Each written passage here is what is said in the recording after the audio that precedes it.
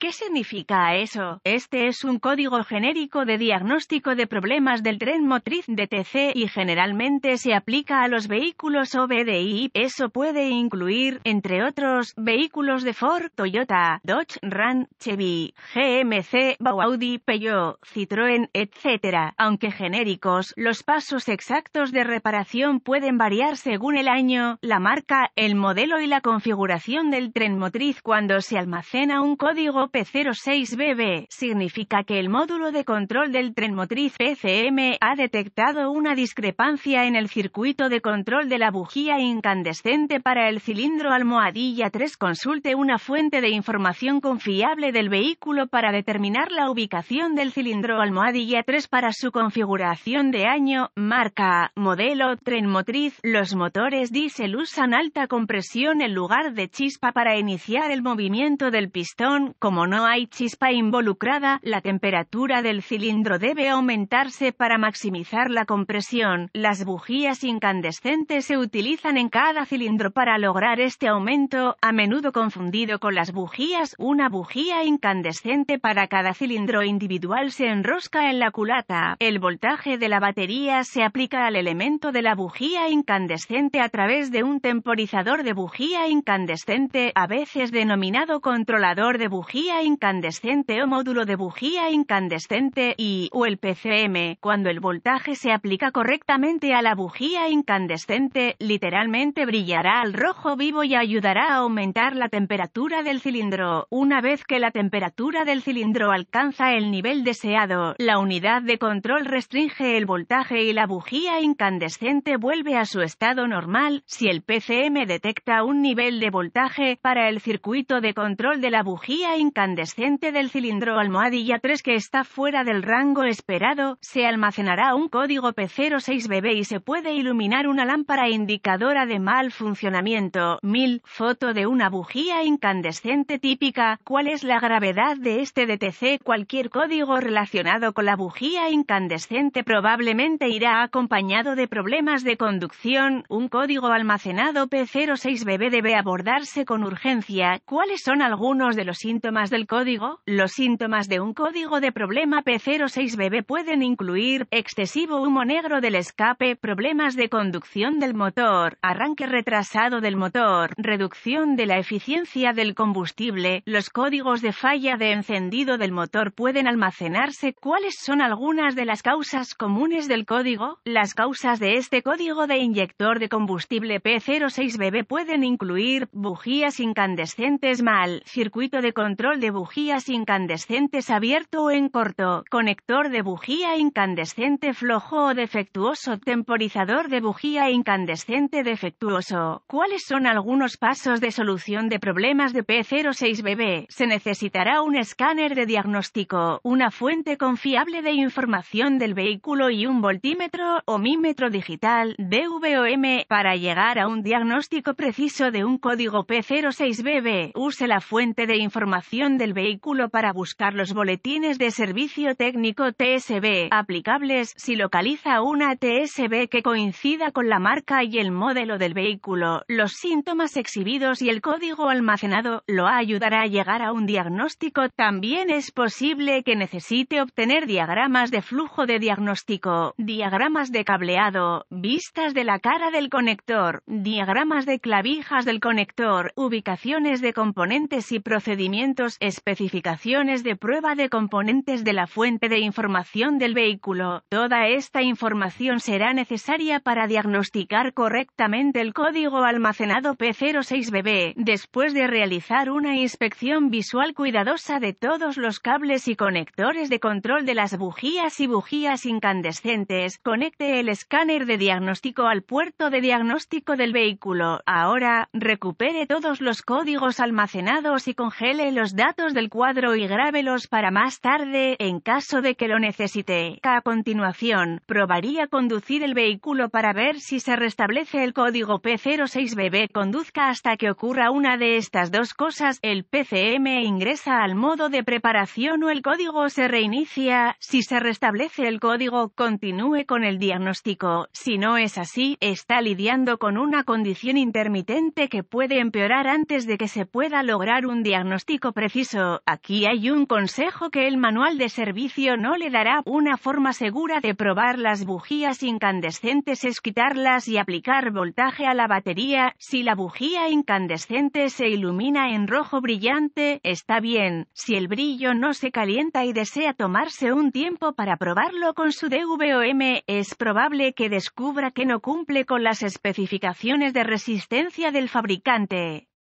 Tenga cuidado de no quemarse o iniciar un incendio al realizar esta prueba si las bujías incandescentes parecen funcionar correctamente. Use el escáner para activar el temporizador de bujías incandescentes y pruebe el voltaje de la batería y una conexión a tierra. En el conector de la bujía incandescente, use el DVM. Si no hay voltaje, pruebe la fuente de alimentación para el temporizador de la bujía incandescente o el controlador de la bujía incandescente Pruebe todos los fusibles y relés relacionados según lo recomendado por el fabricante. Como regla, he encontrado que es mejor probar los fusibles del sistema y los enlaces fusibles con el circuito cargado. El fusible de un circuito que no está cargado puede parecer funcional cuando no lo está y llevarlo por el camino de diagnóstico incorrecto. Si todos los fusibles y relés parecen funcionales, use el DVOM para probar el voltaje de salida en el temporizador de la bujía incandescente o PCM, donde sea que se origine, si se detecta voltaje en el temporizador de la bujía incandescente o PCM, sospeche que tiene un circuito abierto o en cortocircuito, puede buscar la causa de la discrepancia o simplemente reemplazar el circuito. A veces se piensa que un P06BB no puede ser causado por una bujía incandescente defectuosa porque este es un código de circuito de control. No te dejes engañar,